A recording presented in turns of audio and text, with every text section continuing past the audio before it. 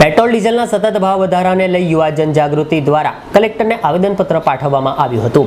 આંતરરાષ્ટ્રીય સ્તરે ક્રૂડ ઓઇલના ભાવમાં ઘટાડો હોવા છતાં સરકાર દ્વારા પેટ્રોલ, ડીઝલના ભાવમાં વધારો કરવામાં આવી રહ્યો છે, જેને લઈને સમગ્ર દેશમાં આનો વિરોધ કરવામાં આવી રહ્યો છે.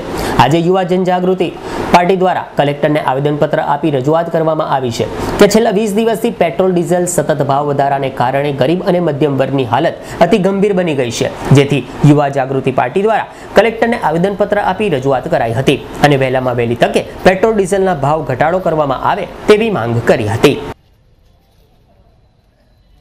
છેલ્લા વીસ દિવસથી પેટ્રોલ ડીઝલના ભાવમાં જે વધારો થઈ રહ્યો છે, તો સતત આટલું વધારો થવાનું કારણ અમે જાણવા માંગીએ છીએ.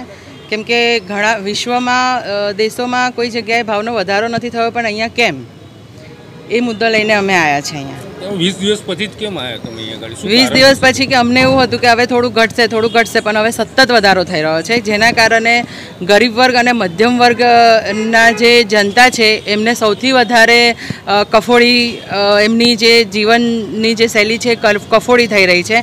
જેના કારણે કે કે આવા સમયમાં લોકડાઉન પછી કંપનીમાંથી બી એવું થઈ રહ્યું છે કે કંપનીમાંથી કર્મચારીઓને છૂટા કરવામાં આવે છે. તો આવા સમયે તમારે એ લોકો સામું જોવું જોઈએ કે ના કે કોઈ પણ વસ્તુનો હું તો એવું કહું છું કે કોઈ પણ વસ્તુનો વધારો થવો જ ના જોઈએ. તમારી શું માંગણી છે અમારી માંગણી એવી છે કે જે આ વધારો થઈ રહ્યો છે જેટલી સતત રીતે વધારો થઈ રહ્યો છે એ રીતે ઘટાડો કરવામાં આવે અને જનતાને પણ હું જાગૃત કરવા માંગીશ કે આવા સમયે જો તમે બહાર નહીં નીકળો તો પછી સમજી લેજો કે આવનાર પેઢી તમને એટલી બધી કોસશે કે જ્યારે બોલવાનું હતું ત્યારે બોલ્યા નહીં હવે આ બધું અમારે સહન કરવું પડે છે એવી પરિસ્થિતિ ઊભી થશે.